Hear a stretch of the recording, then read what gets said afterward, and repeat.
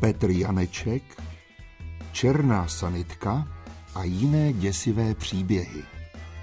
Sebrané současné městské pověsti, legendy a fámy, doplněné odborným komentářem folkloristy a etnologa.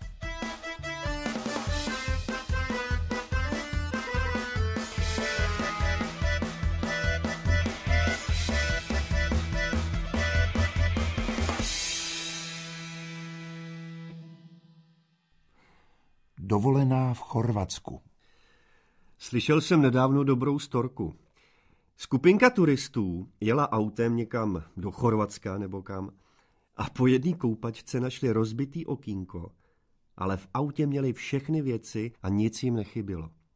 Tak jeli dál, užívali si dovolenou a když přijeli domů a nechali vyvolat fotky, tak na jedné z fotek s hrůzou zjistili, že někdo vzal jejich zubní kartáčky, strčil si je do prdele, nafotil to jejich foťákem a pak to zase všechno vrátil zpátky.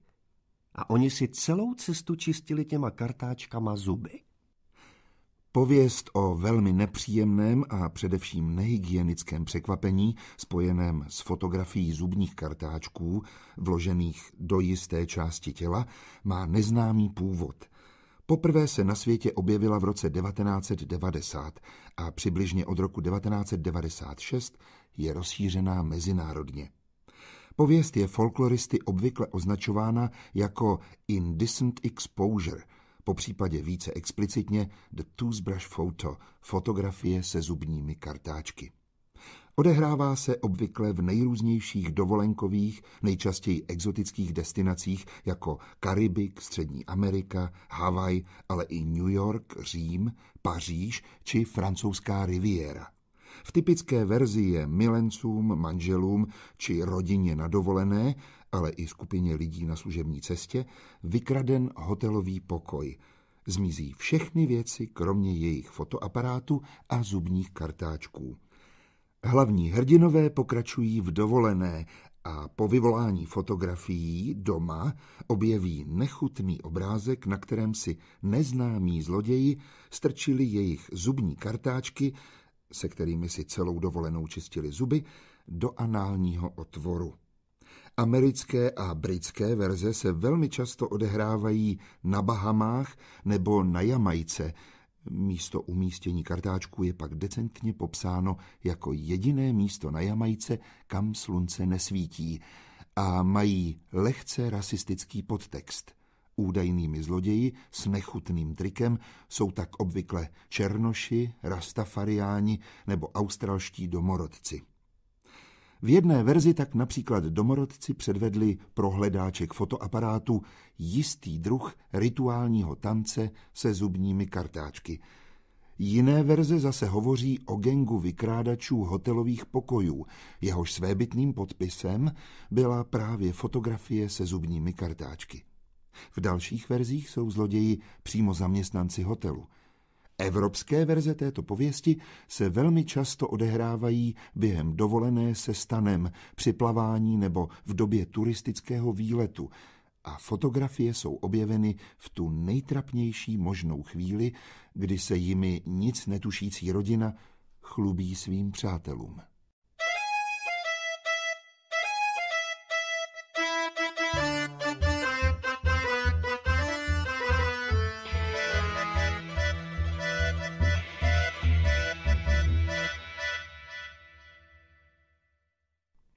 Sperma v kebabu. Arabové v bistru na jedný z hlavních pražských ulic přidávají do kebabu svoje sperma. Do té bílé vomáčky. Dělají to pravidelně, už je kvůli tomu kontrolovala i hygienická kontrola a dostali pokutu. No, říkal mi to kamarád, co bydlí poblíž. Jednou z nejvytrvalejších a nejpopulárnějších domácích fám týkajících se jídel s nechtěnými přísadami je fikce o spermatu v kebabu. Historky tohoto typu se po světě šíří od 80. let 20. století, minimálně od roku 1989 a jsou oblíbeny především mezi středoškolskou a vysokoškolskou mládeží v celém širším regionu střední Evropy – Česká republika, Polsko, Německo, Rakousko. Tato fáma je rozšířená po celé České republice a vždy se vypráví o jednom konkrétním občerstvovacím zařízení. Například v Praze měla vytrvalou tendenci být vyprávěna o jednom konkrétním podniku poblíž bývalého obchodního domu Máj. Takto lokalizovala fiktivní příběh o spermatu v kebabu či gyrosu většina našich informátorů. Někteří informátoři jsou v popisu nechutného činu velmi konkrétní. Jo, sperma. To objevili při zátahu hygienické kontroly v tom gyrosu v centru asi před čtyřma rokama. Našli tam sperma v majonéze. Od pěti různých lidí. Motiv všemocné hygienické kontroly zdůraznil i další informátor. To mě připomíná, že ve spálený se o tom arabském kšeftu na gyrosy a pizzu říkalo, že měli v omáčce na gyros sperma a tak proto, že byli zavřený, že je zavřel hygienik. Jiný informátor se snažil fámu podpořit potvrzením ze strany autority, jak je v současném folkloru zvykem, obvykle zcela fiktivním. Mně to jednou říkal nějaký kluk a tvrdil, že to ví od mámy, která dělá na hygieně Prahy 1. Samozřejmě se to týkalo Arabů na národní. Podobným způsobem argumentovali pro věrohodnost této fámy i další. Asi tě zklamu, ale s tím spermatem je to pravda. Jelikož známý z hygienické stanice tam dělal kontrolu, několika lidem bylo špatně a stěžovali si. A prokázalo se, že ta bílá vomáčka opravdu obsahovala sperma. Tehdy se to prý řešilo pokutou. Další informátor přišel naopak se zcela absurdní a nebývale komplikovanou verzí, jak se úřady vlastně tajemství spermatu v kebabu dopátrali. Jo, a taky se povídalo, že našli mrtvou bábu, která měla v žaludku deset druhů spermatu. Tak bádali proč a nakonec si to spojili se zbytkem kebabu. Pravdivost historky vytrvale hájili i jiní informátoři a přišli dokonce s vlastní verzí této pověsti, blízkou starším domácím verzím této tradice. Tak to bohužel do Urban Legends nepatří. Vyprávělo se to jako, že na národce, jak prodávají gyros, takže tam nějaká kontrola našla mrtku a že to ti arabové mají jako speciální přísadu. Bylo to ale trošku jinak. Pracovalo tam několik týpků, který měli nějaký problémy s tím majitelem a už tam ani nechtěli makat. Asi jim dlužil peníze nebo co. Tak vzali tu omáčku a všichni se do ní vycákali a pak tu kontrolu sami zavolali. Jiný informátor připojil k fámě i svoji interpretaci motivu tohoto činu. Dělali to arabové, aby se pomstili bílejm. Podobně hodnotili motivaci masturbantů do kebabu i další. No jo, prý se tím arabové mstili bílejm. Jo, a někdo říkal, že do toho taky čůraj. Někteří informátoři slyšeli tuto fámu již v trochu pozměněné podobě, lokalizovanou do jiné prodejny a jiného typu jídla, ovšem umístěné v těsné blízkosti nejznámější lokalizace této historky. Ne, to sperma nebylo v kebabu, ale v hamburgeru na národní třídě. Poučení informátoři, kteří historku zaslechli z více zdrojů a tím pádem ji přestali brát vážně, dokonce dokázali s jistým nadhledem sumarizovat různé verze fám kolujících v našem prostředí. Arabové v bistru na národní třídě přidávají do kebabu a gyrosu svoje sperma. Údajně proto, aby se zákazníci vrátili. Liší se tradované množství dárců. Někteří mluví o biblickém čísle značícím velké množství dvanáctce. Jiní hovoří o neuvěřitelných 42. Další informátoři zase dávají fámu do souvislosti s jinou rozšířenou fámou o čínských restauracích, které místo kuřecího používají maso psí, kočičí nebo krysí. Prej v omáčce, co se dává na kebab, se našlo několik druhů spermatu. Doufám, že arabové aspoň berou maso od Číňanů. A nebo vytvářejí fiktivní parodický inzerát. Gyros Národní třída hledá semeniče omáček. Plat podle dosažených výsledků. Nástup možný i hned. Potvrzení o zdravotní způsobilosti nepožadujeme. Fantom spermatu v kebabu se však neomezuje pouze na Prahu, ale například v Liberci. V Moskevské ulici ho tam jeden švihlej kuchař přidával. Německý Turek, který pak šel do blázince. Jiní poučenější informátoři vidí ale věc v ještě globálnějším měřítku. To je urban legend stará 10-15 let a netýká se jen Arabů a národky, ale už těch verzí, co jsem slyšel. A k tomu dodávají. Kamarádi o trochu starší, co prostě hold nejsou počítačová generace, jinak jsou to vynikající a dobrý lidi. Strašně rád s nima kecám o všem možným, ale některá témata jsou prostě tabu. Tentokrát nám nevytáhl kámoš sperma v Tatarce. Urban Legend tak klasickou, že už ji paroduje půl světa. A přidávají i další konkrétní lokalizace. Se spermatem prakticky v čemkoliv se dá setkat ve všech městech, nejenom u kebabu na Národní třídě v Praze. Třeba ve Zlíně ve větnamské restauraci se objevilo při kontrole sedm druhů spermatu. Fáma o spermatu v jídle se samozřejmě neomezuje pouze na exotické pochutiny typu gyros či kebab, i když je pro tato jídla právě kvůli jejich implicitnímu spojení s exotikou a s ní souvisejícím xenofobním postojem typická. Tato nečekaná přísada byla podle současného slovenského folkloru údajně nalezena i v tak nečekaném typu jídla, jako je bageta. Minulý týždeň som od jednej staršej paní počula modifikovanú historku o kebaboch. Nešlo o kebaby, ale o normálne bagety. A ani žiadna menšina v tom nemala prsty. Teda eh, niektoré iné výbežky. Stalo sa to v Bratislave, keď si skupinka študentov z Filozofickej fakulty išla kúpiť medzi prednáškami bagety. Po zjedení im bolo ale strašne zlé a nejaká dievčina dokonca odpadla. A viete, čo sa potom zistilo? Že v tých bagetách bolo v majonéze semeno. Keď sme spochybňovali možnosť, že by akási študentka po požití semena mohla odpadnúť, dočkali sme sa vysvetlenia, že no a okrem semena tam bola aj salmonelóza. Historky o zaměstnancích fast foodu masturbujících do jídla podávaného zákazníkům jsou rozšířené po celém světě.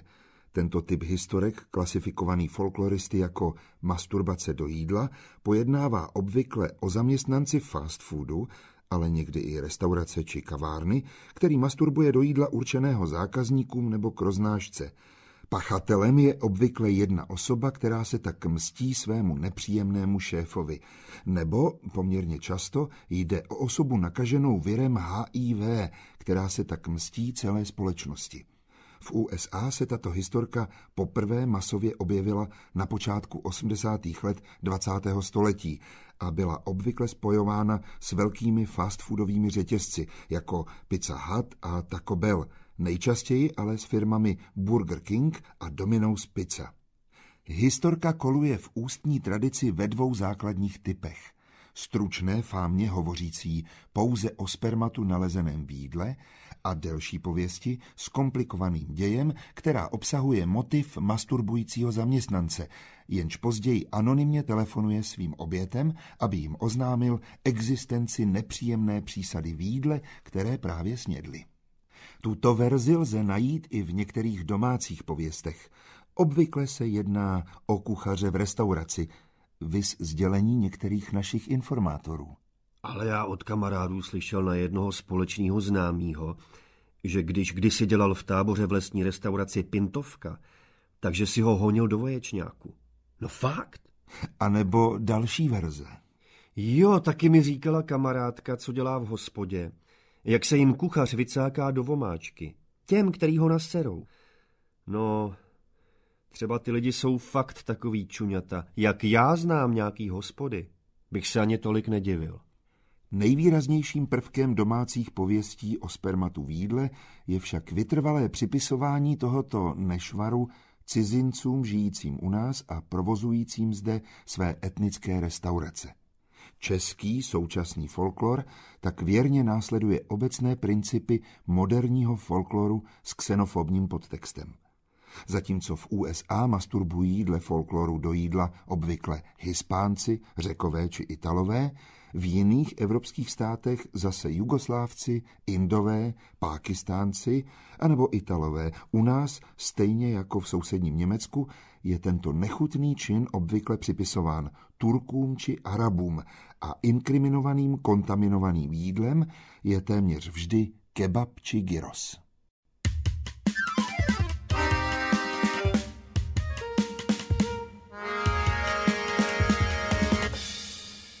Kočičí drápek Známá mojí kolegyně z práce šla jednou do nového čínského rychlého občerstvení u nás v Liberci.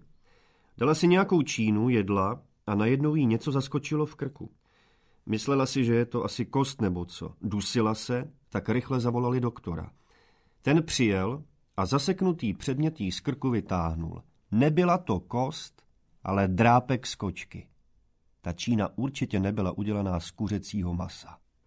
K nejpopulárnějším příběhům o nejrůznějších nechutných nálezech v jídle patří historky o azijských restauracích, především čínských. Moderní folkloristé dokonce příběhy o čínských restauracích vydělují jako specifickou kategorii současného xenofobního folkloru. Vedle nich samozřejmě existují i příběhy o indických, řeckých, větnamských a slovanských restauracích. V USA jsou nejčastějším terčem těchto fám mexické a hispánské restaurace. Historky o čínských restauracích kvetou zejména v Evropě a vedle České republiky je můžeme zachytit prakticky ve všech zemích, přičemž dobře zmapované jsou například v Německu, Velké Británii a skandinávských zemích – jako veškerý xenofobní folklor odrážejí i tyto fámy obecnou nechuť většinové společnosti k imigrantům, spojenou s neporozuměním odlišným jídelním zvykům. Nejčastější historky o čínských restauracích pojednávají o nešťastníkovi, který ve svém jídle nalezne nějaký cizí předmět, nejčastěji kost z nečistého zvířete, obvykle krysy nebo, jako v našem případě, kočky. Historka o kočičím drábku zaseklém do hrdla neopatrného návštěvníka patří v tomto ohledu k fámám po celém světě nejcharakterističtějším. Typický sižet této fámy je identický s pověstí, kterou jste právě slyšeli. V současnosti patří v České republice fáma o kočičím drábku k těm nejoblíbenějším a mohutně koluje nejen v ústním podání, ale i pomocí e-mailu a internetu – Příběh je lokalizován různě, v rámci Prahy například prakticky kamkoliv, od centra přes Žižkov, Vinohrady až k Dejvicím. Z dalších měst byla tato fáma velmi masivně zaznamenána v Liberci. Odraz této fámy ostatně koluje po internetu dodnes, jak můžeme doložit na dvojici následujících ukázek. Jo, když jsme u těch koček. Ženská si v Liberci, dobrou chuť liberečáci. Zašla do Číny, přídle se jí zasekla kostička v krku a na to na pohotovosti zjistili, že to byl kočičí drápek. Mňamy. A druhá ukázka. Chtěl jsem ti to říct, než jsem vlezem, ale pak jsem si to rozmyslel. Zvedla jsem tázavě oči ke svému ex-ex-ex příteli a pozdržela vidličku s posledním soustem na cestě do úst. Víš, když naše kolegyně z práce tady byla na jídle, Vrazilo se jí něco mezi zuby a protože to pořád nemohla vyndat, šla k zubaři, ten jí vytáhl z mezi zubů kočičí dráp. Vytřeštila jsem na něj oči. Co mi to tady říká? No fuj, a já to jedla. Odložila jsem poslední kousek jídla zpět na talíř. Tak takhle probíhal můj dnešní oběd. Teď tady sedím polozlená v kanceláři a proklínám chvíli, kdy jsem vlezla do čínské restaurace. Blé. Příběhy měly přesvědčivé obhájce. Včera se se mnou hádala spolupracovnice o kočičích drápech. No byla skálopevně přesvědčená, že to je pravda. Nepomohla ani racionální argumentace. Kočičí drápky prej vytahoval její kamarád zubař a ten by nelhal. Ve všech námi zaznamenaných variantách fámy se incident s kočičím drábkem měl odehrát v čínské restauraci, jen dle jedné jediné varianty v restauraci větnamské. Zároveň s námi uvedenou verzí fámy obíhá i její druhá, podobně rozšířená varianta, podle které se údajná kostička zasekne zákazníkovi čínské restaurace nikoli do krku, ale do zubu a je nalezena šokovaným zubařem. Jiné v současnosti rozšířené pověsti o čínských restauracích připomínají spíše tradiční historky tohoto typu zaznamenané v 80. a 90. letech 20. století. Kamarád mi jednou vyprávěl, jak jeho kamarád byl v jednom čínském bufetu na Ipáku. Dal si kachnu tajemné chuti. Vrtalo mu prej v hlavě, proč se to tak jmenuje a že má rád tajemství, tak si tu kachnu objednal. Přídle mu něco nesedělo, páč to vůbec nechutnalo jako kachna. Ale říkal si, že to je nějaká tajemná přísada, která změnila chuť té kachny. Jenže ouha. Při placení se mu naskytl pohled do kuchyně, kde vysela kočka svlečená z kůže. Prej se jim tam poblil, když mu došlo, proč to mělo tak zvláštní chuť. Podobné fiktivní příběhy se velmi často objevují i v médiích. Jeden takový otiskl například již v roce 1973 jeden stokholmský deník. Historka pojednávala o muži, kterému během dovolené v Řecku zaskočila při pojídání kuřecího salátu kost v krku. Jeho lékař ve Švédsku poté kost odstranil, přičemž se ukázalo, že nejde o kost kuřecí, ale krysí. Inspekce poté našla v mrazáku řecké restaurace velké množství mražených krys.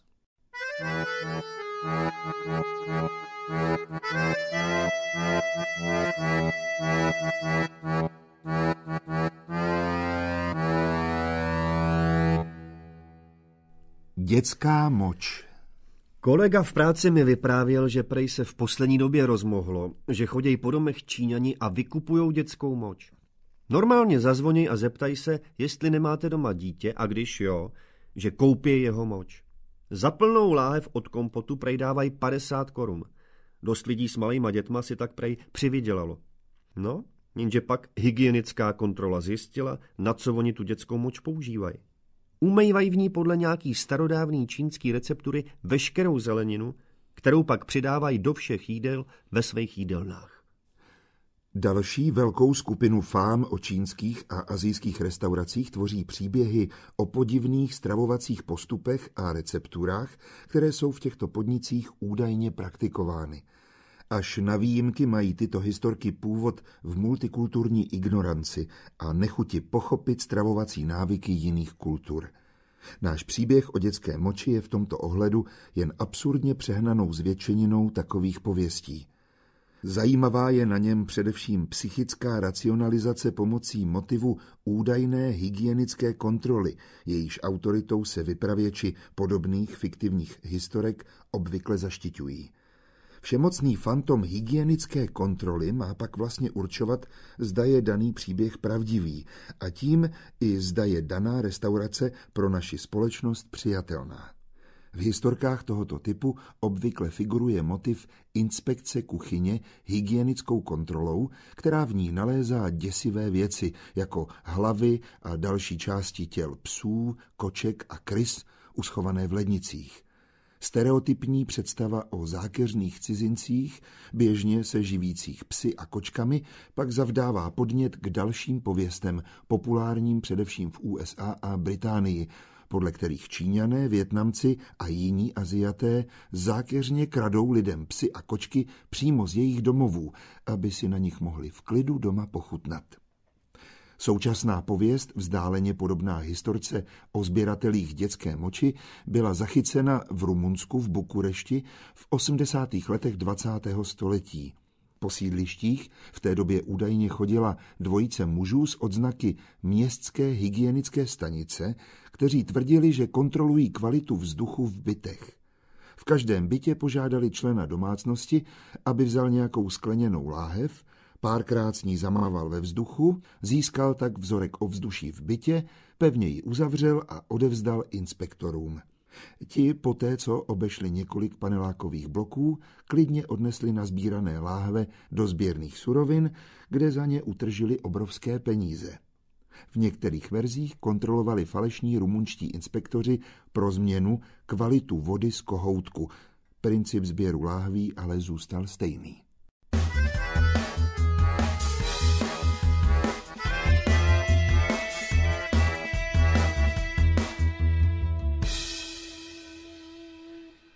Snědená babička Babička jedné rodiny byla po druhé světové válce někam odsunutá, nasazená na práci nebo tak něco, až se dostala do Anglie. A tam už po válce zůstala, zatímco ostatní příbuzní si v Čechách užívali komunistického blahobytu. Jediné babiččino přání bylo, že chce být pohřbena doma. Umřela a známí z Englandu přemýšleli, jak ji dostat do Čech. Variantu s transportem rakve zavrhli takže ji nechali spálit a že pošlou urnu. Aby to nebylo na hranicích nápadný, nasypali popel do velký krabice od pudinku, dali do bedny, přihodili pár čokolád a nějaký svetry, to všechno v rámci nenápadnosti, humanitární pomoc od známých ze západu. A poslali jako balík. Kromě balíku poslali o něm příbuzným dopis s obsáhlým vysvětlením. Příbuzní obdrželi balík úplně v pořádku a okomentovali ho slovy. Co pak, že si na nás vzpomněli? Ha, nějaký svetry. Si myslí, že tady nemáme hadry. Ukáž, bedna pudinku. No to jsme zvědaví, co to bude za zázrak. Vrazili puding do mlíka, vaří, vaří, nadávají na ty západácký ksindly, ani houstnout to nechce. No co, když už do toho dali to mlíko, přisypou český puding a granko a konečně se to dá aspoň jíst. A za pár dní přišel ten dopis. Příběh o popelu babičky omylem snědeném v pudinku patří k nejstarším současným pověstem vůbec. V Čechách byla tato historka rozšířena minimálně od 60. let 20. století. Podle novinářů Mladého světa byla tato pověst v polovině 60. let masově rozšířena hlavně v severních Čechách. V roce 1967 tak Mladý svět otiskl beletrizovanou verzi této pověsti pod názvem Pudding Made in USA. Rodina Helmuta H. z České Kamenice dostávala ze západního Německa od příbuzných občas balík. 27. září 1962 přišel opět balíček, v němž byla mimo jiné věci i plechová krabice s lákavým obalem. Puding Three Muggy vypadal neodolatelně, proto jej hned začali vařit. Radost obdarovaných netrvala dlouho, puding nechtěl houstnout. Nakonec do toho zavařili československý amil a za chvíli byl puding hotov. Rodina si tenkrát moc pochutnala. Druhý den přišel od Helmutovy sestry Vilemíny provdané do Zolingenu za obchodníka Valtra T. dopis se smutným sdělením, že babička paní Marie H. ve svých 74 letech zemřela. Posledním přáním zesnulé bylo pohřbení po boku manžela na Šluknovském hřbitově. Protože vědí, jaké jsou potíže s úřady, když jde o převoz mrtvých, jistě Helmut obstará urnu a důstojný pohřeb. Popel pro obelstění celních orgánů poslali v krabici od pudinku. Zdravotní péči o českokamenické pozůstalé převzal doktor Šimon M. z Okresního ústavu národního zdraví v Českém Dubu. Podle folkloristů se tato pověst v celosvětovém měřítku poprvé objevila těsně po druhé světové válce. Vyprávěna byla především v zemích bývalého socialistického bloku, kam byly příbuznými z USA často zasílány balíčky s potravinami a jiným druhem pomoci – Rodiny, které podle dobových pověstí obdržely nádobu bez nápisu s neznámým práškem uvnitř, jej údajně považovali za nějaký nový druh amerického instantního nápoje a obsah nádoby smíchaný s vodou pak vypili. V pozdějších verzích tohoto příběhu byl popel mrtvého považován za neznámý druh koření či mouku na těsto. Po spořádání pokrmu připraveného s touto ingrediencí přišel dopis s vysvětlením, že ve skutečnosti šlo o popel příbuzného, který kdysi emigroval do USA a přál si být pohřben v rodné zemi.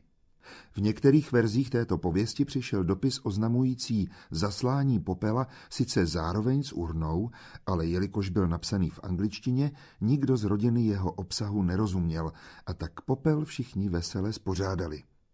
Novější britská verze téhož příběhu hovoří o popelu příbuzného z Austrálie, který byl zaslán anglické rodině. Ta jej promptně využila při přípravě tradičního anglického vánočního pudinku. Pudink je už napůl sněden, když někoho z rodiny, schromážděné u štědrovečerní večeře, konečně napadne přečíst si dopis, který přišel společně s balíkem. V jiné britské verzi pošlou popel babičky příbuzní z dálného východu, kteří jindy běžně zasílají poštou různá exotická koření. Vedle České republiky a Anglie byla tato pověst zaznamenána i v Německu, Švédsku, Itálii, Polsku, Chorvatsku, Rumunsku, Litvě, ale i v Jihoafrické republice, Austrálii či USA. Podobné příběhy s motivem zasílání zahraničních výrobků ze západu do socialistické země byly na počátku 80. let zaznamenány i v Polsku. Nečekanou přísadou v zahraniční potravině, zasílané v době ekonomické krize jako dar od příbuzných v cizině, nebyl ale popel zesnulého příbuzného, nýbrž 100-dolarová nebo 100-marková bankovka. Historka o snědené babičce se váže spíše k minulosti. Mnohé zaznamenané verze se pozoruhodným způsobem neustále vztahují k potravinové nouzi druhé světové války. Něco podobného jsem slyšela od maminky už před 20 lety nebo kdy. Bylo to prej za války a přišel jim z Ameriky, kde měli babičku balíček a v něm zase ten neidentifikovatelný prášek a oni si mysleli, že je to mouka a upekli si z toho chleba. No, a byla to ta babička. Pověst o snědené babičce je folkloristy studujícími současný folklor obvykle klasifikována pod názvem Nevědomí kanibalové nebo The Eaten Cremains. Zároveň je tato historka, jako jedna z mála současných pověstí, zařazena i do základního mezinárodního folkloristického katalogu folklorních příběhů Anty Arneho a Stita Thompsona, nedávno přepracovaného Hansem Jürgem Uterem. Historka o snědené babičce je v tomto monumentálním katalogu, zabývajícím se především tradiční pohádkou, označována jako moderní pověst a klasifikována jako typ 1339G, příbuzný v urně.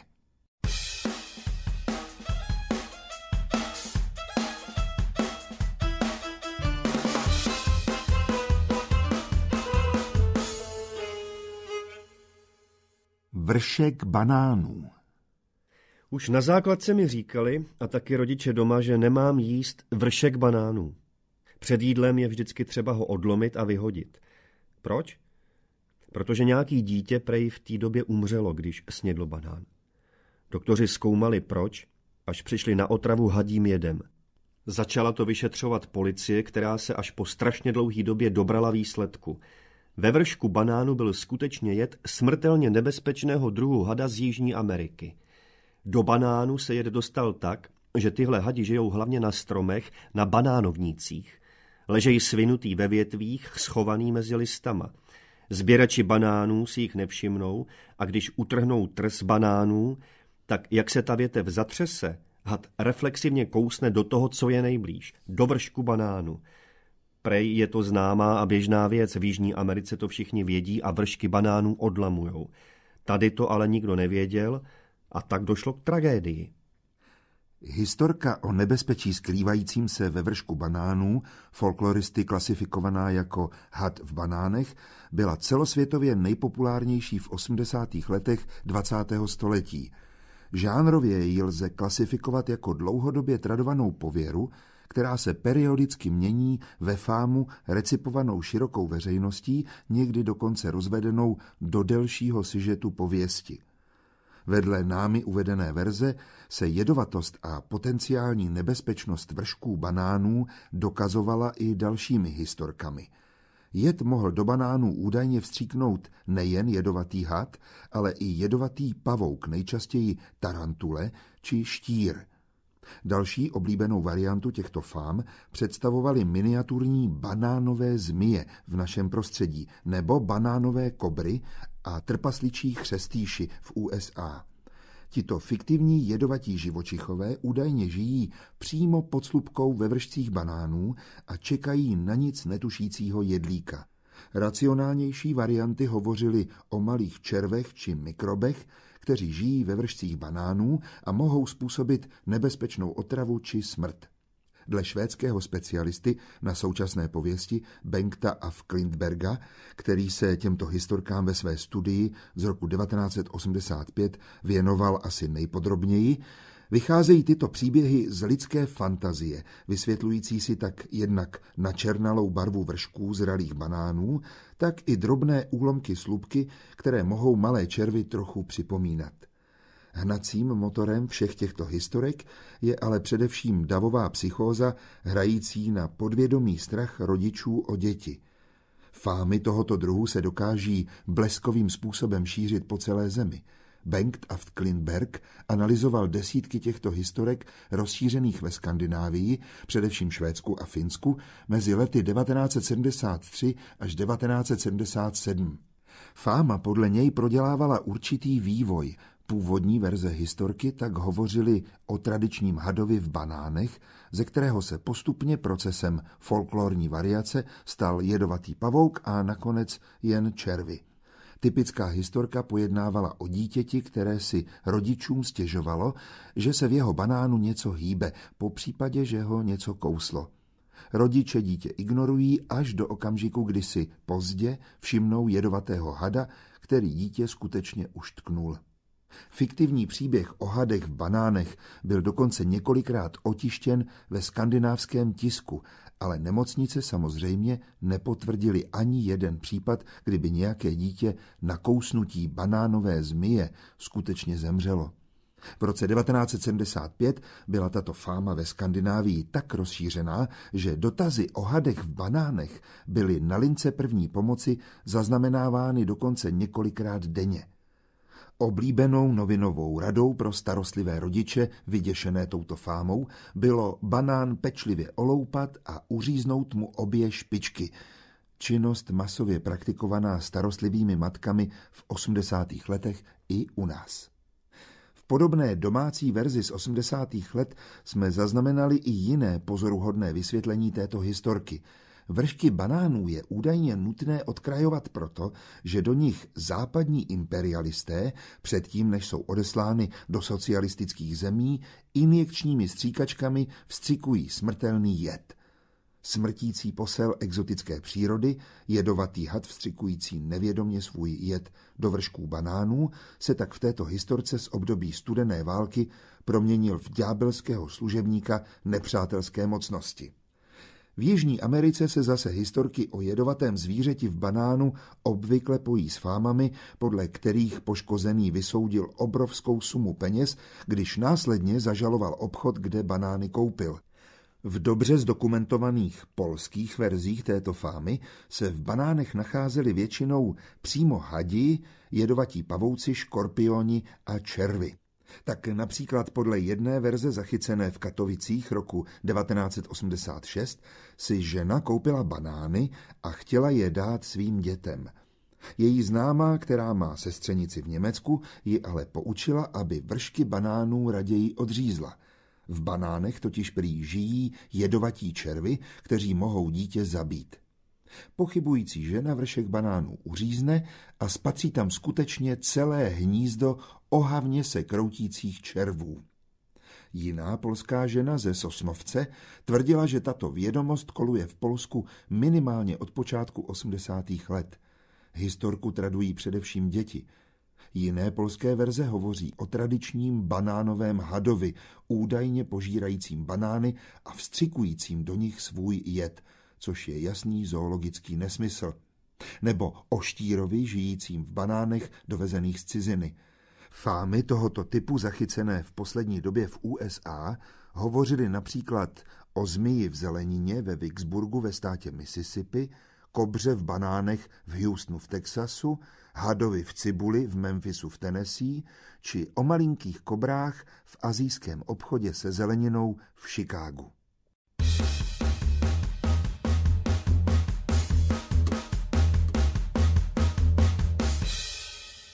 Pejsek z dovolené. Jedna rodinka byla na dovolené v nějaké exotické zemi a kolem bungalovu, ve kterém bydleli, se potuloval takový rostomilý opuštěný pejsek. Nechal se pohladit, tak mu začali dávat i jídlo, všude s nimi chodil, pak s nimi začal i bydlet a spát v posteli. Tak si ho zamilovali, že si ho odvezli domů. Doma idylka pokračovala, ale asi po měsíci šli na návštěvu ke známým, kteří mají taky malého pejska.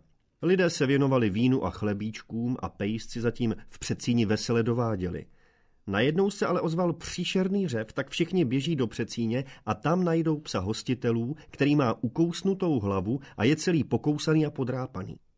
Šťastné majitele psíkovo chování vyvede z míry a rozhodnou se, že s ním zajdou k veterináři. Ten nad psíkem kroutí hlavou, že nikdy takového psa neviděl, takže přivolá ke konzultaci odborníka, svého kamaráda, co pracuje v zoo. Ten překvapeným chovatelům prozradí, že miláček, kterého si přivezli z dovolené, je vzácný druh exotické krysy. Jednou z celosvětově nejrozšířenějších současných pověstí se zvířecí tematikou, oblíbenou nejen v ústním podání, ale i v bulvárním tisku, je příběh o podivném psíkovi přivezeném z exotické dovolené. Tři z našich informátorů podali tento příběh takřka identicky. Jiná verze lokalizuje nález podivného pejska do oblíbené destinace českých turistů. V Chorvatsku našli u moře pejska. Byl to takový vošklivý, malý, divný podvraťák, ale oni si ho oblíbili. Krmili ho a děti si s ním furt hráli. No a samozřejmě se s ním pak nedokázali rozloučit, tak ho vzali do auta a domů odjeli i s ním. Tam ho vzali k veterináři, říkali si, že bude potřebovat nějakou zevrubnou kontrolu, injekce a tak. Doktor mu jednu injekci opravdu dal a obořil se na paní mámu. Odkud to zvíře máte? Ale nalezli jsme ho tady někde. Hrála divadlo čerstvá panička. Podívejte, nemá smysl mi lhát. Vy jste si to přivezli od moře, že jo? No, přivezli. Já vím, ono se to asi nemá, že jo, převážet přes hranice zvířata, ale on fakt nikoho neměl, víte. Milá zlatá, kdyby vás nebo vaše děti tohle zvíře kouslo, ukazoval veterinář na utracované cosi, tak už jste taky mohli být po smrti. Tohle není žádný pes, to je mořská krysa. A u nás už je to tuhle sezónu pátý případ. Folkloristé tento typ příběhu obvykle označují názvem Mexický mazlíček. Stejný název má i třetí slavná sbírka současných amerických pověstí Jana Heroda Branwenda z roku 1986. Podle dalšího alternativně používaného názvu této pověsti, tedy Krysí pes, nazval svoji sbírku současných pověstí z Německa z roku 1991 i Helmut Fischer.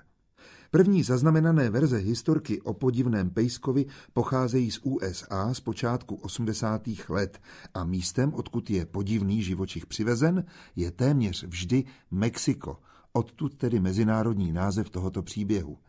Jedna z prvních zachycených variant z Texasu z roku 1984 tak například hovoří o ženě, která tráví dovolenou v Akapulku.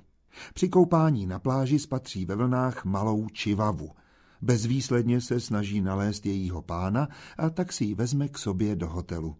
Čivava se chová rostomile a tak si žena ztraceného pejska zamiluje a propašuje sebou do USA. Milý pejsek se i doma chová klidně, neštěká a sousedi si na něj nestěžují. Jednoho dne ale pejsek omylem spadne do záchodu. Žena jej sice zachrání, ale přeci jen jej radši vezme na kontrolu k veterináři. Ten se jí s údivem zeptá, kde k pejskovi přišla a pak šokované ženě oznámí, že nejde o čivavu, ale o mexickou vodní krysu amerických mexických verzích se mění v podstatě jen místo nálezu pejska, identifikace hlavního hrdiny, způsob, jak zvíře reagovalo na americká domácí zvířata, často agresivně, a další detaily.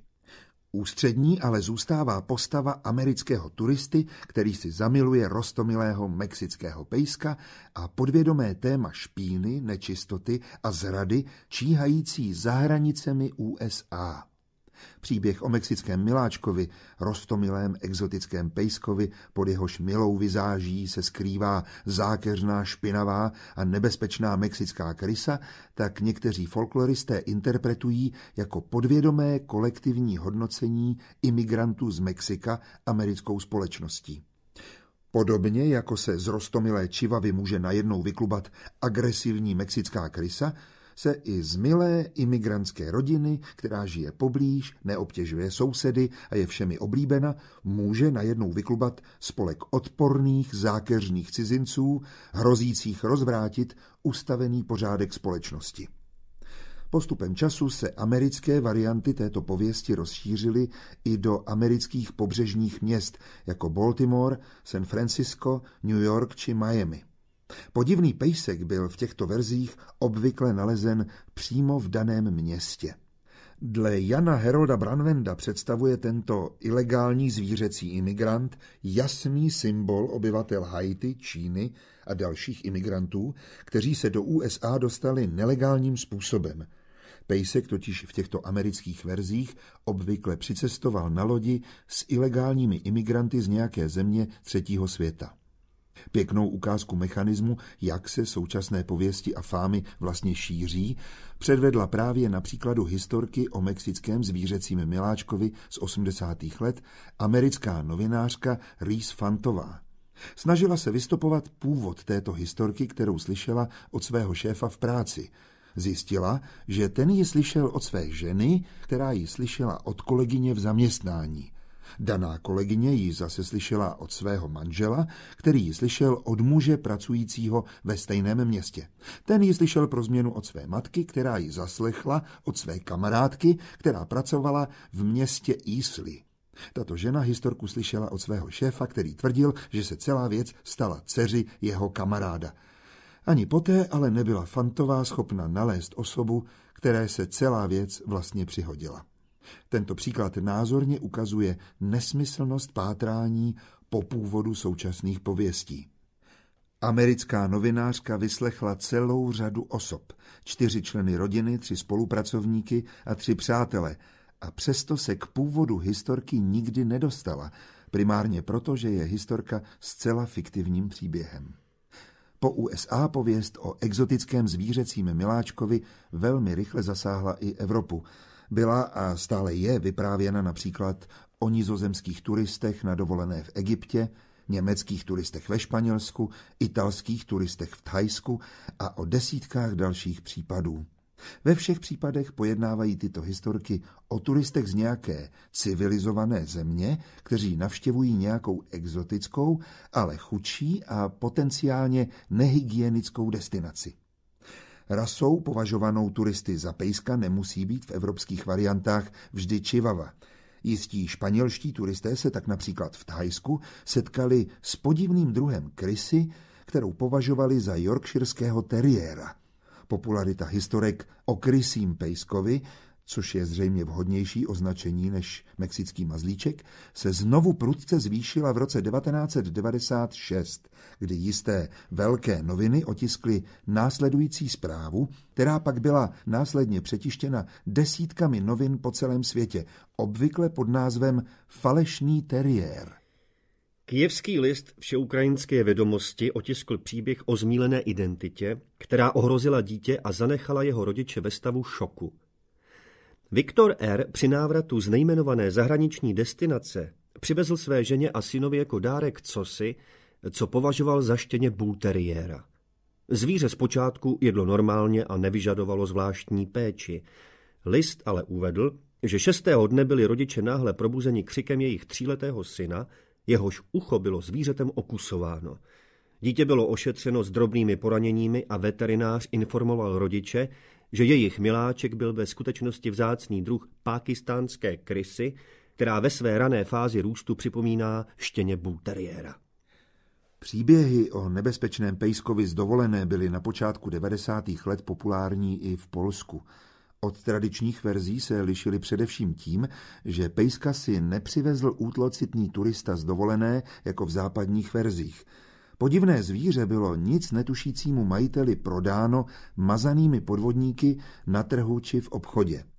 Jeden Polák si tak údajně na trhu v Bialystoku koupil malého jezevčíka, ze kterého se vyklubala nebezpečná afgánská nebo v jiných variantách pákistánská krysa – Velmi rozšířená varianta této pověsti, populární v Polsku hlavně v letech 1992 a 1993, hovořila o Rusech prodávajících na trzích ve východním Polsku bílá rostomilá štěňata, ze kterých se ale později vyklubali divocí lední medvědi. Jiné polské varianty hovořily pro změnu o hnědém medvědu, který se vyklubal z předpokládaného kavkazského ovčáka. Folklorní historky tohoto druhu jsou částečně živeny a podporovány tradičními polskými antiruskými stereotypy, podle kterých chtějí rusové Polákům vždy a za všech okolností ublížit, dokonce i takto absurdním způsobem. Příběh o koupené kryse považované za malého rostomilého pejska je zřejmě poměrně starý. Identický příběh se vyskytl více než sto let předtím, než byl v trochu odlišné variantě zaznamenán jako současná pověst v Anglii v polovině 19. století. V knize Anecdotes of the Habits and Instincts of Animals anglické autorky Sarah Boudičové z roku 1852 se můžeme dočíst příběh o dvou dámách, které si od neznámého muže koupí rostomilého bílého pejska. Doma se pejsek ale začne chovat podivným, zcela nepejskovským způsobem, včetně veselého pobíhání po záclonách. Když pak přijde hlava rodiny domů, zjistí se, že ve skutečnosti jde, ano, o velkou krysu.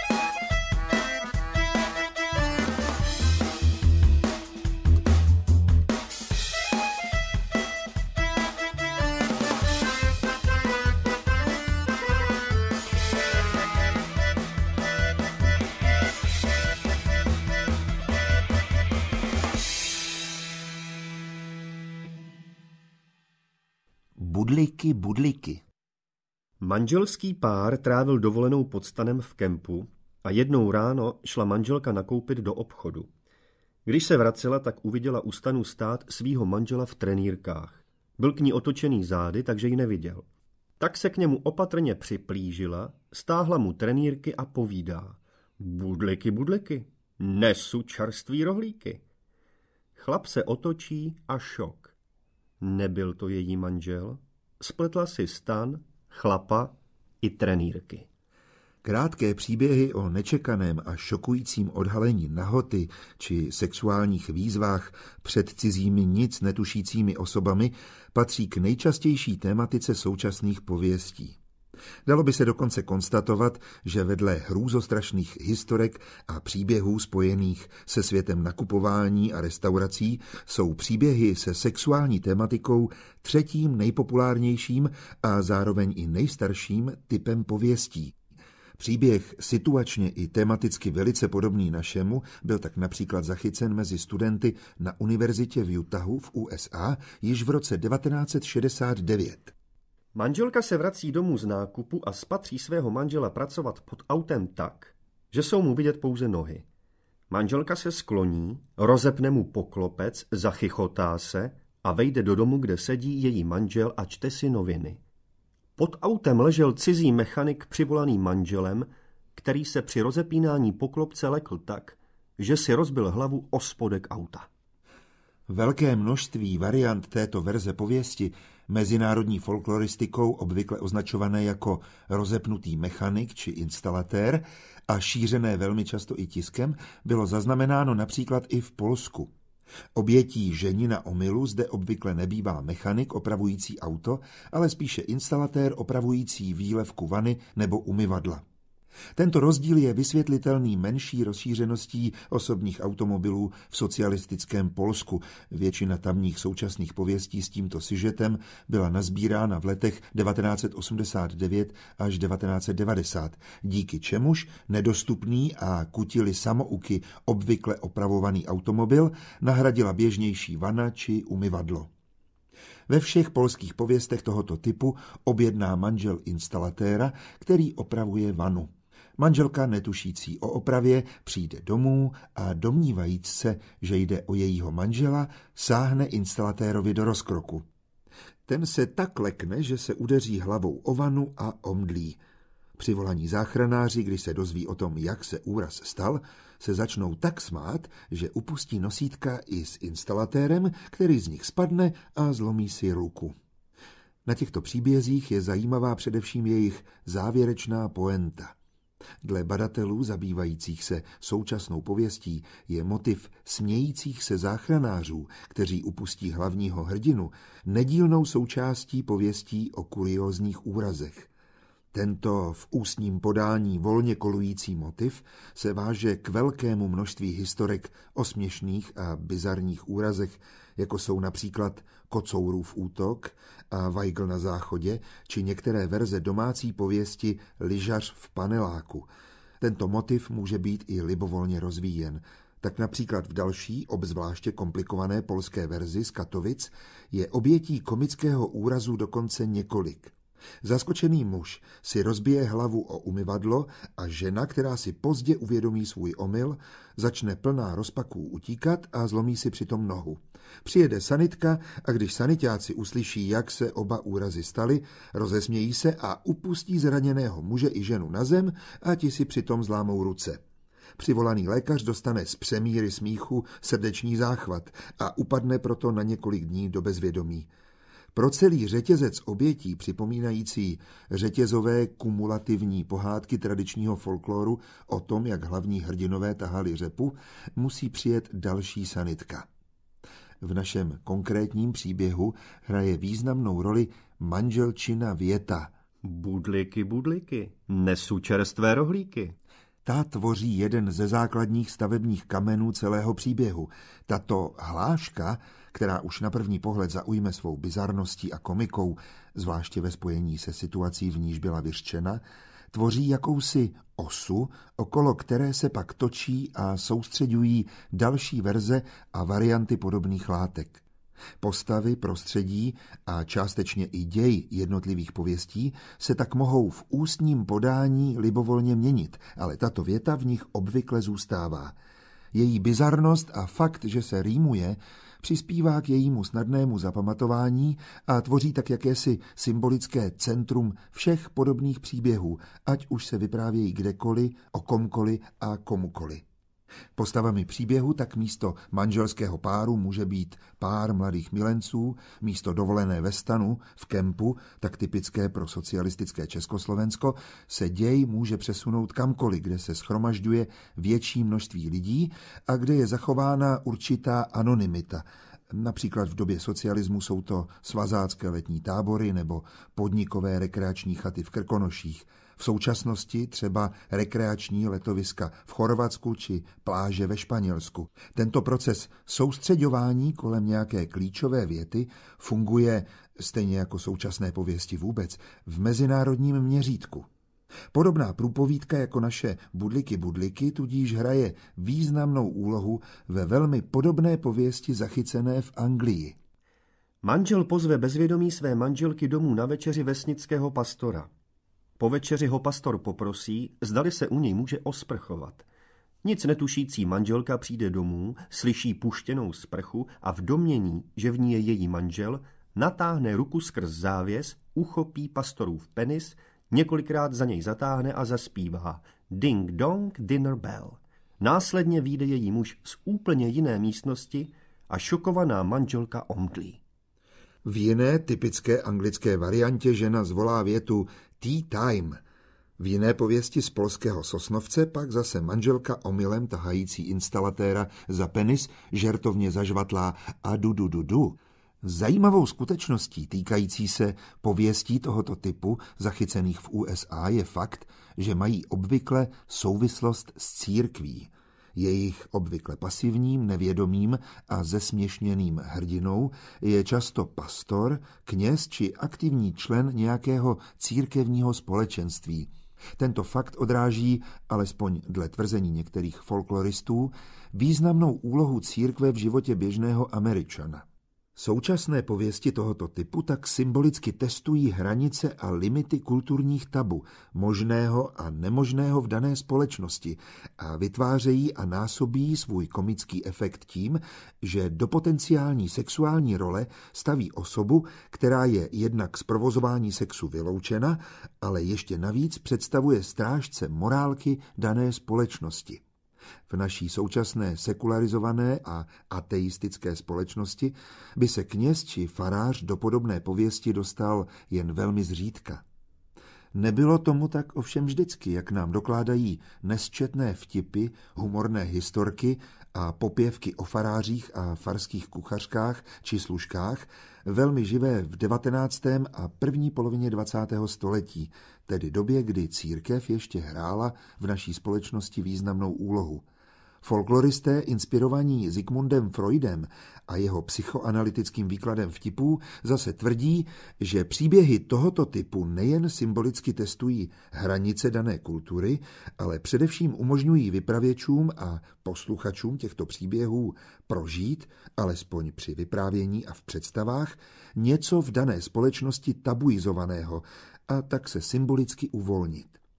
Podle těchto teorií jsou proto příběhy o nečekaném odhalení nahoty rozšířeny především v kulturách a společnostech, které sexualitu nejrůznějším způsobem omezují, ať už je to Freudova maloměšťácká Vídeň přelomu 19. a 20. století, či současné americké maloměsto s prudérní křesťanskou morálkou. Těmto teoriím by nahrával i fakt, že současné pověsti tohoto typu jsou velmi rozšířené mezi americkými mormony, příslušníky církve Ježíše Krista svatých posledních dnů, ultrakonzervativního až bigotního křesťanského společenství, odmítajícího mimo jiné i požívání alkoholu, tabáku, ale i čaje a samozřejmě předmanželský sex. V jedné z variant výše zmíněného sprchového příběhu, zachycené v americkém státě Utahu, centru mormonské církve, tak nic netušící manžel výjde nahý ze sprchy před šokovanými postaršími členkami církevního dámského sboru za zpěvu. Viděli jste někdy stělesněný sen? Psychoanalytickému výkladu současných pověstí, oblíbenému převážně mezi americkými folkloristy, nahrává i skutečnost, že nejčastějšími oběťmi nečekané nahoty jsou v těchto příbězích většinou muži, což údajně souvisí s potlačenými exhibicionistickými představami tohoto pohlaví. Podobná nepříjemná situace se ale může v současných pověstech přihodit i ženám. V dalším americkém příběhu, příznačně opět s postavou pastora pozvaného na návštěvu, tentokrát dokonce s celým církevním sborem, vyjde manželka nahá ze sprchy před šokované věřící se zvoláním určeným stejně šokovanému manželovi. Pojď si pro ní, dokud ji mám čistou. Podle této typické věty byl dokonce mezinárodní sižet této pověsti pojmenován Come and Get It ať už plní příběhy o nečekaném odhalení, funkci testování hranic dané kultury, jak tvrdí folkloristé, nebo psychologickou funkci uvolnění skrytého sexuálního napětí, jak tvrdí psychologové, je jisté, že existují v lidské kultuře již od počátku věků. Motiv velmi příbuzný naší konkrétní současné pověsti je i v tradičním světovém folkloru rozšířen natolik, že pro něj folkloristika vytvořila speciální motiv Q495 mezera 4. Hlavní hrdina se objeví nahý před přáteli jako trest za necudnost, obsažený v monumentálním souboru folklorních motivů celého světa z Tita Thompsona.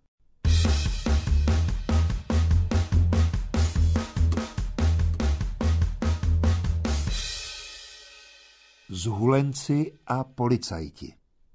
Kámoš mi někdy v polovině 90. let vyprávěl, že jeho kamarád jel v létě se svým známým, který měl džípa z Holandska, kde byli nakupovat trávu. Plný auto hůlení šťastně převezli přes všechny hranice, na prvním odpočívadle v Čechách slavnostně odpálili jointa na oslavu a zamířili domů. Jedou a v tom je staví policajti. Oni vyklepaný, že mají plný auto hůlení ale policajti prej jenom, že se jim rozbilo auto a jestli by je nevzali do vleku do nejbližšího města. Tak oni, že jo. zapřáhli policejní Škodovku na lano a rozjeli se. Na oslavu toho, že policajti nenašli hůlení v autě, odpálili za jízdy dalších pár jointů. Tak jedou, když se najednou jeden z nich podíval do zrcátka a povídá, ty vole, za náma jedou policajti. Tak je vyhuleně sledovali a fakt. Policejní auto pořád za nima, hrozně blízko a dlouho. Hele, víš co? Zatoč na nějakou okresku. Zatočili s jeepem na okresku, ale policajti pořád za nima. Tohle udělali asi třikrát, až byli z toho policejního auta tak vyděšený, že jeden z nich navrhnul. Ale víš co, zaboč tady na lesní cestu. Tak vjeli do lesa, no a policajti to už samozřejmě přestali stíhat, tak na ně zablikali majáčkem.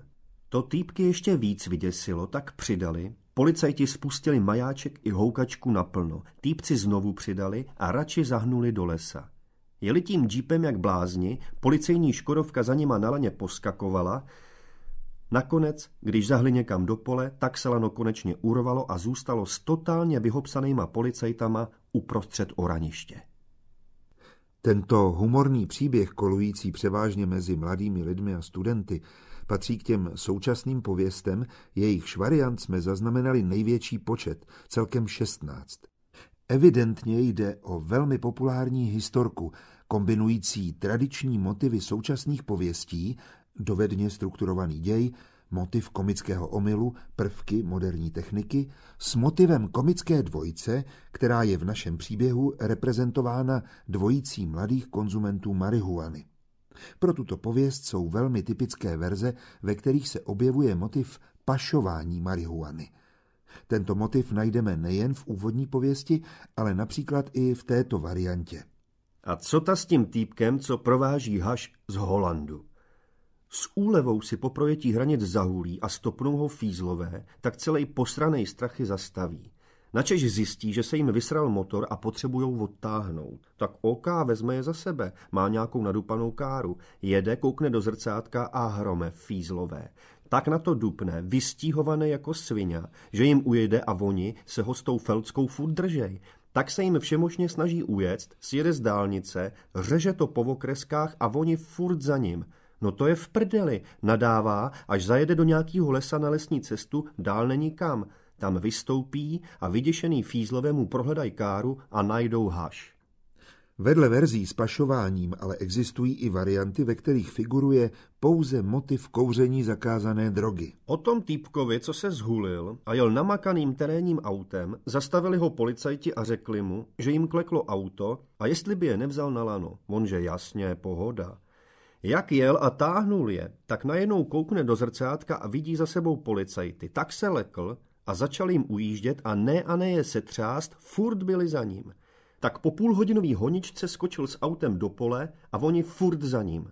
Tak zastavil v půlce pole, protože to bylo fakt marný.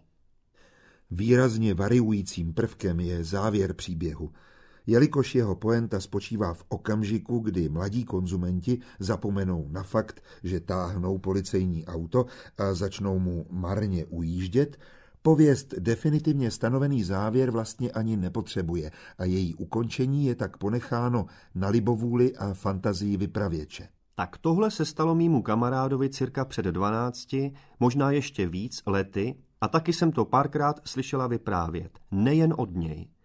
A není pravda, že by se ho báli, naopak. Dostal celkem slušnou pokutu a měl co vysvětlovat, protože je nakonec z toho lana v nějakých 120 km za hodinu utrh. Nešlo o žádné odbočování na polní cestu. Ještě hůře končí další verze pověsti. Jede zhulený týpek s autem plným hulení a zastaví ho policajti. Naštěstí ne proto, že by ho chtěli kontrolovat, ale proto, že jim nejede auto, tak aby je odtáhl a že až budou chtít zastavit, takže na něj zablikají majákama, ale on jak je zhulený, tak na to zapomene a když za sebou uvidí bliknout majáky, tak dostane strach a bude se jim chtít ztratit v nejbližším městě v uličkách, ale oni se ho drží jako klíšťata, až se nakonec obě auta vybourají a vezmou mu řidičák. Nejčastější drogou, kterou hlavní hrdinové historky požili, je marihuana či hašiš, ale známé jsou i varianty s tripem či pouhým alkoholem. Jiné verze historky zase vykazují příbuzné motivy z pověstí uvedenou v naší sbírce pod názvem Opilý řidič, mezinárodně nazývané The Arrest. Tyto případy představují poměrně unikátní jev synkreze dvou současných pověstí. Tuhle historku znám a mám dokonce i konkrétní zdroj. Strýc kamaráda mé kamarádky. Historka je pouze mírně modifikovaná. Řidič byl ožralej a na všechno si vzpomněl až další den, kdy našel v garáži svoje auto s urvaným tahacím lanem. Teď sedí za útok na veřejného činitele. Vzdáleně podobná historka o mladých konzumentech marihuany byla zachycena i v USA. Auto plné kouřících studentů náhle zastaví policejní kontrola. Studenti se vyděsí, že během drogové jízdy překročili povolenou rychlost. Rychle schovají jointy, řidič nejistě stáhne okénko a na otázku, jak rychle jel, odpoví neurčitě něco o tom, že povolenou rychlost zcela určitě nepřekročil. Policista se usměje a řekne mu, že se hřítil rychlostí 8 mil za hodinu. Historky spojené s kouřením marihuany jsou v USA populární minimálně od 60. let 20. století. Jednou z nejrozšířenějších je oblíbený příběh o protidrogové přednášce na střední škole, známý již od roku 1968. Na jistou střední školu přijde studentům přednášet policejní důstojník o nebezpečí užívání marihuany.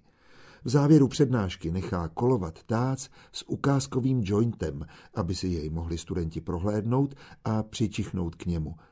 Policista předtím pro jistotu zahrozí. Doufám, že až se tác vrátí zpátky ke mně, bude tam pořád ten joint, jinak provedu vyšetřování po celé škole. Tác obejde celou třídu a po chvíli se vrátí. Inkriminovaný joint na něm leží společně se třemi dalšími. Závěrem dejme slovo jedné z informátorek, která pověst doprovází komentářem typickým pro velké množství současných pověstí, jež potká osud přílišného rozšíření do ústní tradice. Posluchači, kteří stejnou historku slyší z několika zdrojů, pak nutně řeší obtížné dilema mezi nevírou v tuto fiktivní historku a pokusy o její racionalizaci, které obvykle vyřeší tím, že se spolehnou na autoritu původního zdroje, z něhož danou historku slyšeli. Zapomínají ale, že současné pověsti jsou z drtivé většiny čistou fikcí. Bych ráda pověděla jednu z historek, který slýchávám už od jiných lidí a pomalu už se dostala mezi urban legends, ale ono se to fakt stalo, byl to můj kamarád. A slyšela jsem to z jeho úst a před mnoha lety. Jel zhulený jak taška z nějaký vesnice do jiný, jede si, pohoda a ejhle ho stavěj policajti, který ho prosej, vem nás chlapče na lano do další vesnice, jsme nepojízdní. Tak je zapřáhne a jedou. Cesta byla delší, tak si milej Hans vohulí tu hudbu a jede. Najednou mrkne do zrcátka a vidí, ejhle, fízlové a začne jim ujíždět. Ve finále je asi tak ve 120 km rychlosti utrhl, pak se uvědomil a celý ustrašený dojel domů. Po potahovačky z toho měl, to jo. Ačkoliv jsem slyšela jiný závěr, bylo to takhle. Tak a teď. Kdo tomu věří? Kdo ne?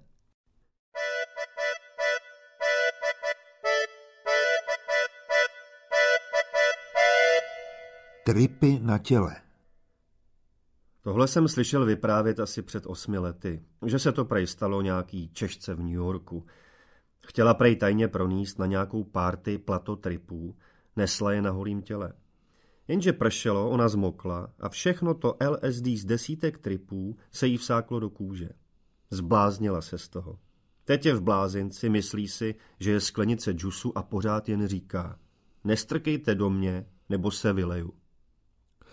Současné pověsti s drogovou tematikou na sebe berou nejen formu humorných historek, ale i příběhů varujících před děsivými následky konzumace drog.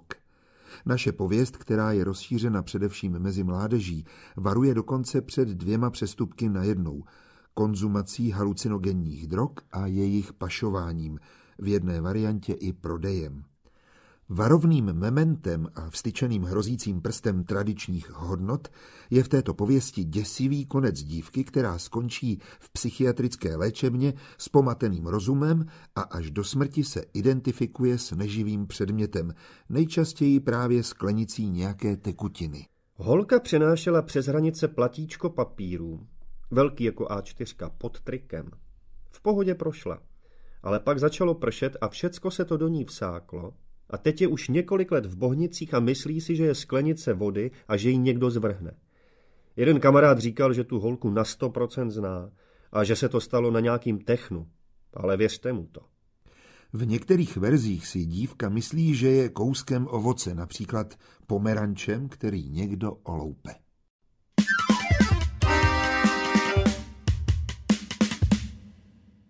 Zmizelá babička Tohle se stalo krátce po revoluci. Jedna rodina si vyjela na rodinný výlet do západního Německa i s babičkou, aby na starý kolena ještě něco viděla. Proběhly nákupy, včetně zakoupení obrovského koberce, který rodinka smotala a zbalenej hodila na střechu auta a hurá domů. Co se ale nestalo?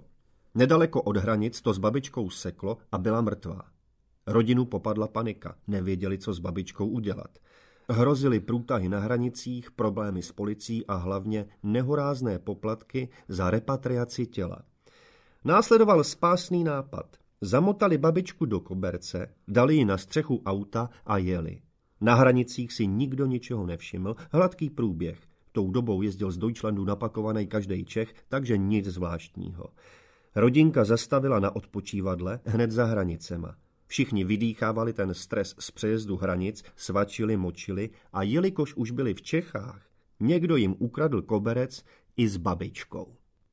Tato pověst, světovou folkloristikou obvykle označovaná jako babička na útěku, je známá z mnoha zemí světa. Vedle USA a Anglie, kde byla zaznamenána poprvé, byly její verze zachyceny například v Německu, Itálii, Švédsku, Dánsku, Norsku, Švýcarsku, Polsku, bývalé Jugoslávii či Rusku. Nejvíce variant bylo nazbíráno zřejmě v USA, kde tato historka patří k nejrozšířenějším humorným pověstem. Jedny z prvních verzí zachycených v 60. letech 20. století v lokálním tisku se měly údajně přihodit rodinám na dovolené v Mexiku a v Itálii. Samotné Mexiko je přitom nejčastější současnou lokalizací děje této pověsti v USA. Pověst o ukradené babičce ale ve Spojených státech rozhodně nevznikla. Její první zachycená verze byla zaznamenána jistou angličankou v roce 1963, která ji slyšela vyprávět v Kanadě. Prvotní verze tohoto příběhu také nehovořily o Mexiku, ale o dovolené americké rodiny kdesi v nekonkretizované Evropě. Tyto rané zmínky o Evropě dovedly folkloristy na správnou stopu. Pověst o zmizelé babičce totiž skutečně pochází původně z Evropy – a do USA se dostala až mnohem později. Anglický folklorista Stuart Sanderson zjistil již v 60. letech 20. století, že tento příběh je druhým nejrozšířenějším příkladem moderní pověsti v Anglii, hned po historkách o legendární mizející stopařce. Nejstarší zaznamenaná britská varianta pochází z roku 1960, ale pověst se běžně vyprávěla již během druhé světové války v roce 1940.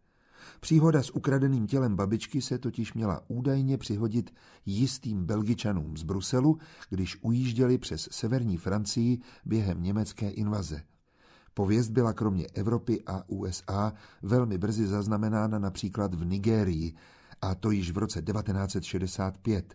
V nigerijské variantě zmizí tělo babičky vezené na pohřeb do rodné vesnice ze střechy mami vagonu neboli lokálního typu autobusu.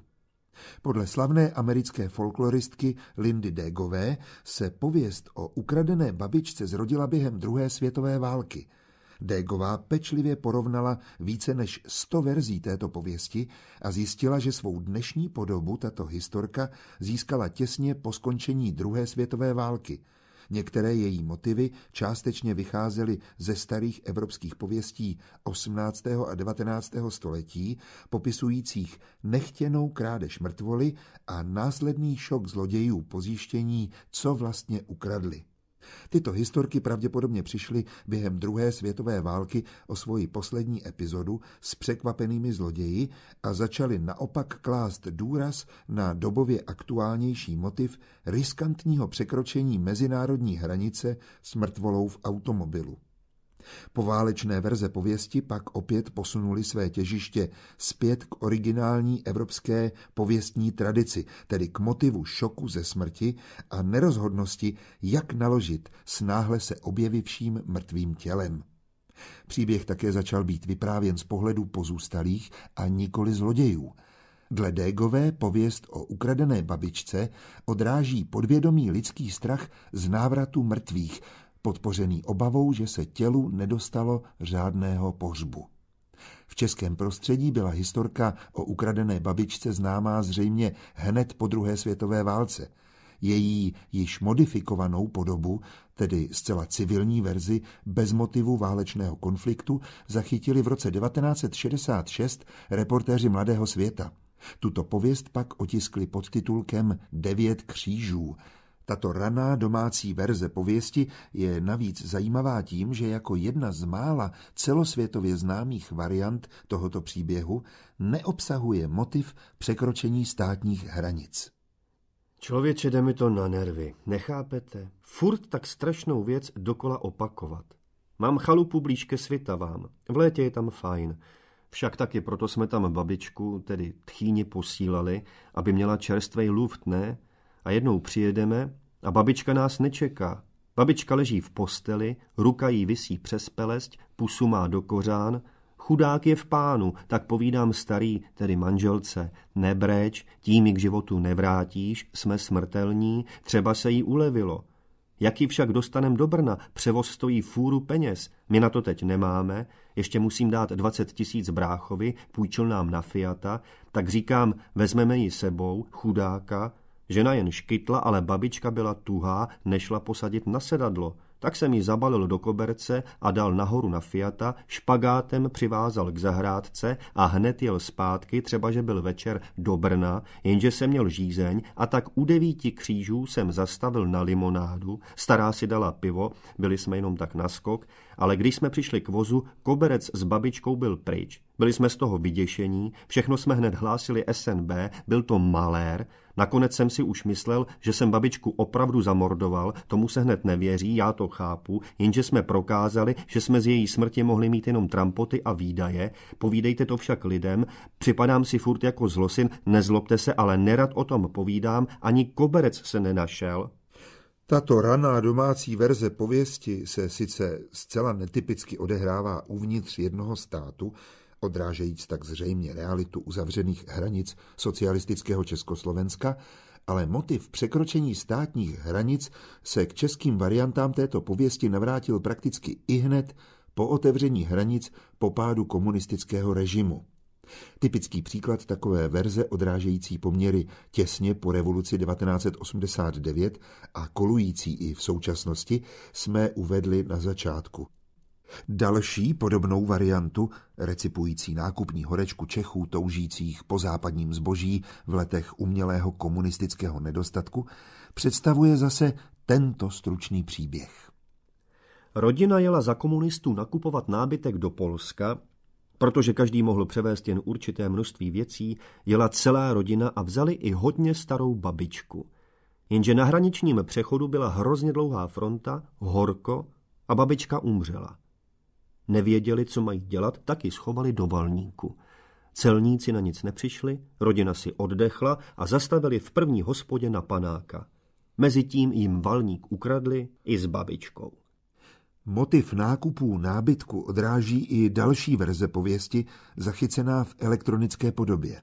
Rodinka jela do ciziny nakupovat nábytek a mrtvou bábu převezli ve skříni.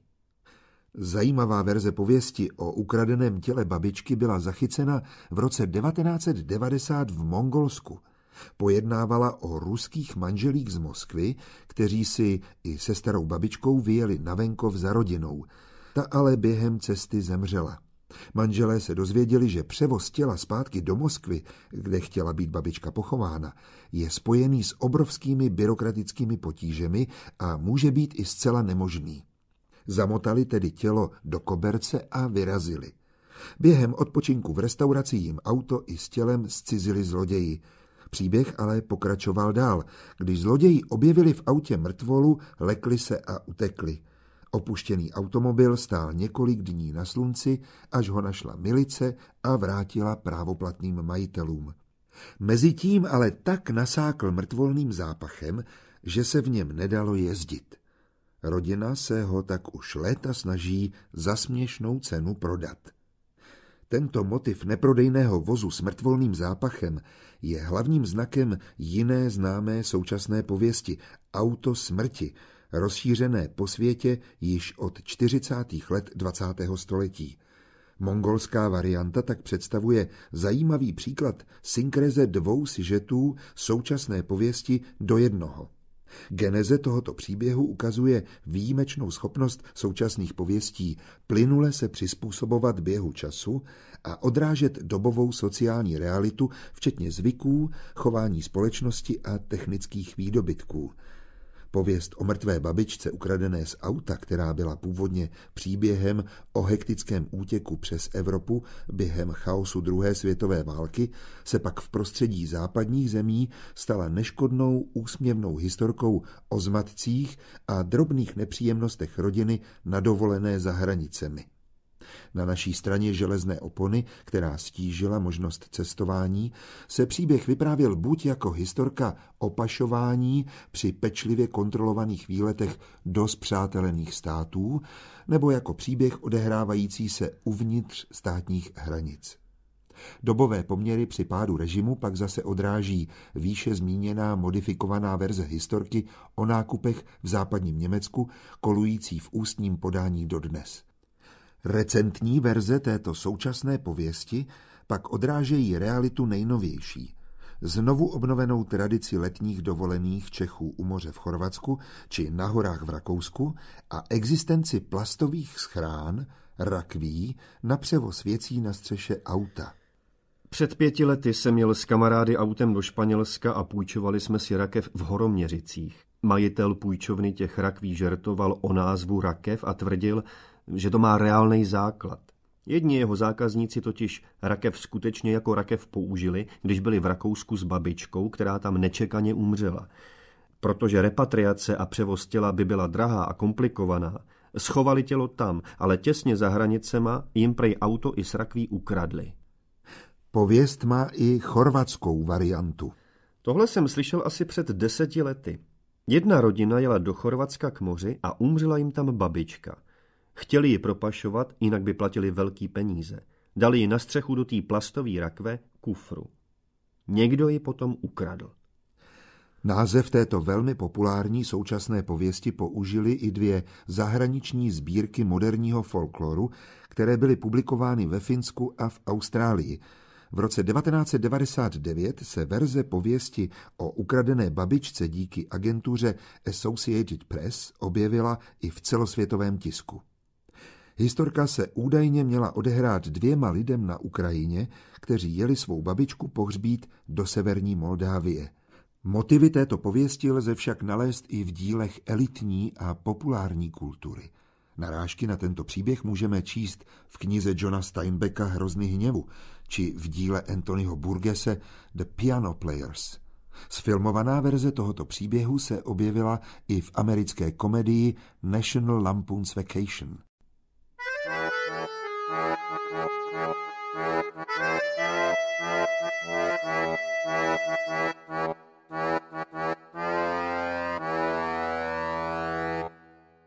Oper v Londýně.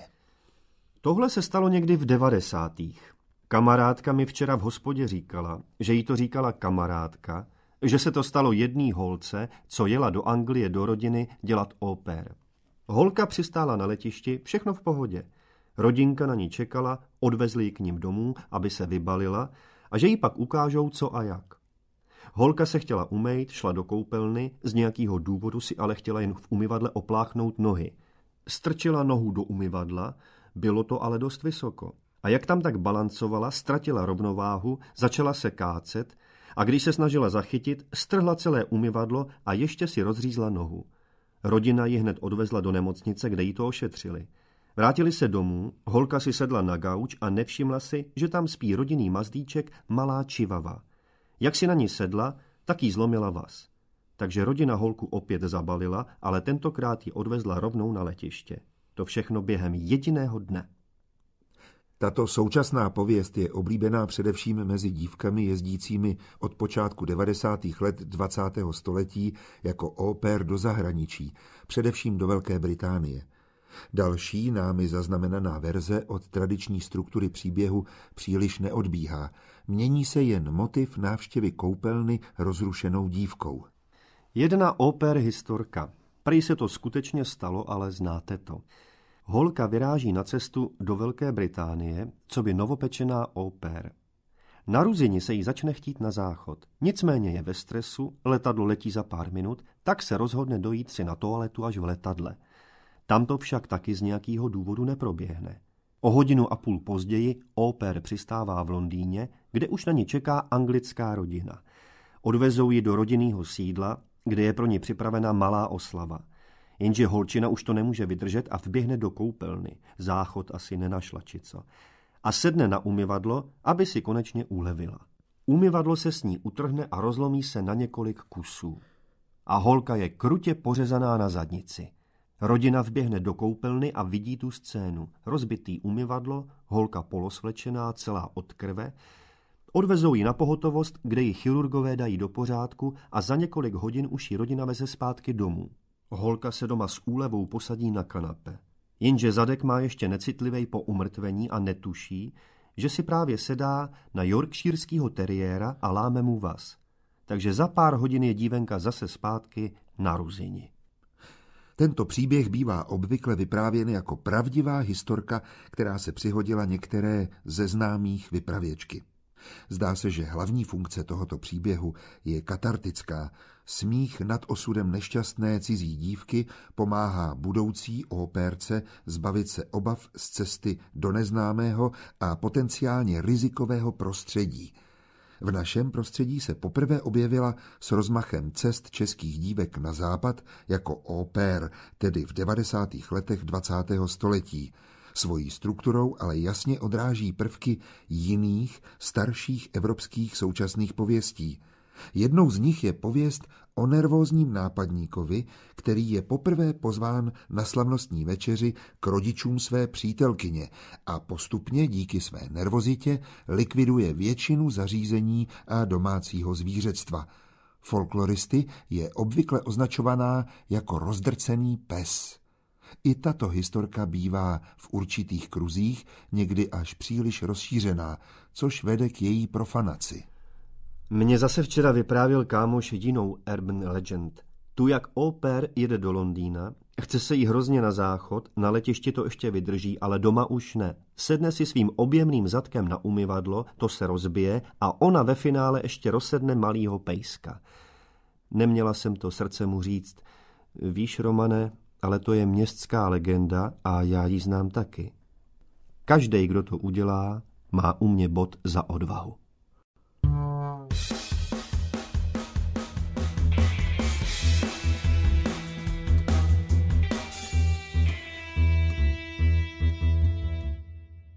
Zábava na kladkostroji a znáte to, jak Ukrajinci pracují na stavbě baráku a aby nemuseli nosit cihly, maltu a tak dál až do pátého patra, tak si udělají takovou kladku s železným sudem, do kterého dají ty věci, co potřebujou a tahají to nahoru. Jenže ke konci šichty se chce Ivan svést pro změnu nahoru, takže se přiváže zapas klanu, do sudu dají ukroši jako protizávaží nějaký železní nástroje a cihly, které jsou potřeba dole a jede se. Jenže sud je těžší než Ivan a tak se Ivan řítí nahoru závratnou rychlostí, jak ve vysokorychlostním výtahu. V půlce cesty nahoru se setká s naloženým sudem, o který se ukrutně praští do hlavy, ale jede stále vzhůru. Tou dobou dojede sud na zem, praskne mu dno, ty krámy se z něj vysypou, čímž se stane lehčí než Ivan, a Ivan začne padat dolů. V polovině cesty se majzne oprázdnej sud bez dna a dopadne polomrtvej na zem. Torzo sudu nahoře majzne dokladky, která se uvolní a celá i se sudem spadne dolů na Ivana. Nestalo se to náhodou někomu z vás, když jste stavěli barák? Vám ne, ale vašim známým možná. Námi uvedená varianta pověsti s Ukrajinci v hlavní roli je poměrně recentní a odráží současnou praxi zaměstnávat na stavbách ukrajinské dělníky. Původní verze této pověsti hovořily obvykle o domácích kutilech či nešikovných zednících. Tato známá úsměvná historka na sebe velice často bere podobu fiktivního dopisu pojišťovně, ve kterém je popisována kuriózní pojistná událost a často koluje v tištěné a elektronické formě. Formu fiktivního dopisu pojišťovně zvolili i žurnalisté Mladého světa, kteří tuto pověst publikovali pod názvem Pojistná příhoda již v roce 1966. Historka musela tedy být v domácím prostředí velmi dobře známá již v 60. letech 20. století. Podle novinářů se událost přihodila panu Josefu Holubovskému rok po druhé světové válce. Dopis adresovaný první české vzájemné bance a pojišťovně zněl údajně takto. Hodlajíc opravit chlívec u své chalupy, číslo popisné 12 Velhotě Bláhové, okres Písek, Potřeboval jsem z půdy složit cihly, tamtéž uložené. Abych si práci usnadnil a cihly nemusel snášet po strmém schodišti, vysunul jsem z půdy kladku a na ní upevnil provaz se škopkem, který jsem zajistil na dvoře zatlučením kolíku. Poté jsem na půdě naložil plný škopek cihel. Sešel jsem dolů a hodlal uvolniti provaz, abych cihly spustil dolů. V tom se však kolík vytrhl ze země a škopek zatížený cihlami počal prudce klesat k zemi. Jelikož jsem kolík pevně třímal v ruce, počal jsem opačným pohybem stoupat vzhůru. Míje je škopek, přerazil jsem si na pravé straně dvě žebra a odřel pravý bok. Doraziv nahoru, udeřil jsem se hlavou prudce o trám, čímž jsem utrpěl zlomeninu lebeční kosti a otřes mozku třetího stupně. Na opačné straně provazu mezi tím škopek prudce udeřil o zem, takže se z něj vyrazilo dno a cihly vypadly na zem. Tím se škopek odlehčil a opět počal prudce stoupat vzhůru. Já jsem klesal k zemi. Míje je škopek, přerazil jsem si na levé straně tři žebra a odřel levý bok. Doraziv na zem, přerazil jsem si obě nohy a ztratil vědomí. Přitom jsem se pustil provazu a odlehčený škopek svojí vahou padl k zemi, kde mi přerazil klíční kost. Podobnou formu fiktivního dopisu pojišťovně zvolila i současná internetová verze z roku 2004. Vážená pojišťovno, odepisuji na váš dopis, kde jste mě žádali o upřesnění mého úrazu. Do oznámení úrazu jsem uvedl, že jsem si úraz způsobil sám – jsem zaměstnán jako zedník a zmíněný den jsem pracoval zcela sám na stavbě domu. Po dokončení mi zbylo asi 250 kilo cihel na střeše. Sešel jsem tedy dolů, tam jsem přes kladku vytáhl nahoru polaně prázdný sud, do něhož jsem hodlal uložit zbývající cihly.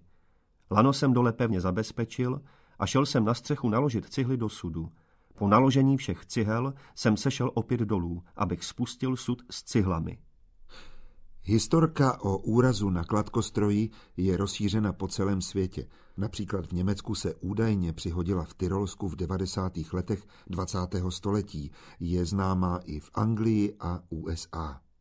Tento příběh je mezinárodní folkloristikou označovaný jako sud s cihlami a patří k nejstarším současným pověstem – podobu fiktivní zprávy pojišťovně, často psané nezúčastněným, komentujícím stylem, tato forma je často vysvětlována tím, že je pisatel nevzdělaný člověk nebo cizinec, například větnamský stavební dělník, na sebe často berou i zahraniční verze historky. Tato pověst se nezřídka objevuje i v nejrůznějších novinových a časopiseckých článcích, Jedna z prvních amerických verzí, napsaná v komickém irském dialektu, byla publikována již v roce 1918. Na divadelních jevištích a v rozhlasových hrách se v USA tato pověst objevuje minimálně od 30. let 20. století, často ve formě komické písničky s názvy jako Drahý šéfe nebo Proč pady není dnes v práci. Někteří folkloristé poukazují i na příbuznost této pověsti s historkou, která se údajně přihodila jednomu z desátníků armády George Washingtona, či se starým folklorním motivem K651, obsaženým například v archaické zvířecí pohádce o chytré lišce a hloupém vlkovi, označované jako typ 32, ve které hloupý vlk sjede ve vědru do studny, aby z ní zachránil chytrou lišku, která vyjede nahoru ve kbelíku přivázaném na druhém konci provazu.